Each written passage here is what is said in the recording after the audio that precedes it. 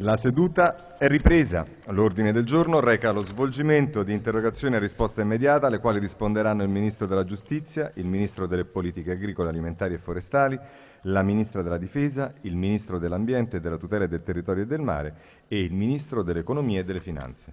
La prima interrogazione all'ordine del giorno la numero 3 2444 dei deputati Melilla ed altri concernente iniziative di competenza in relazione alla vicenda di un cittadino detenuto nel carcere di Madonna del Freddo a Chieti affetto da fibromialgia. L'onorevole Melilla ha facoltà di illustrare la sua interrogazione per un minuto. Grazie signor Presidente. Signor Ministro, ieri Fabrizio Pellegrini è stato scarcerato.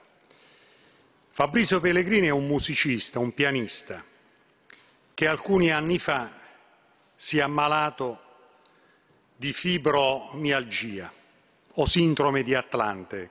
Procura questa malattia rara intensi dolori muscolari cronici, insonnia e l'infiammazione degli arti e dei muscoli che provoca, Fabrizio Pellegrini non può curarla, primo perché non esistono farmaci. Questa è una malattia orfana perché non ha una ricerca farmacologica, è una delle 5.000 malattie orfane di questo Paese.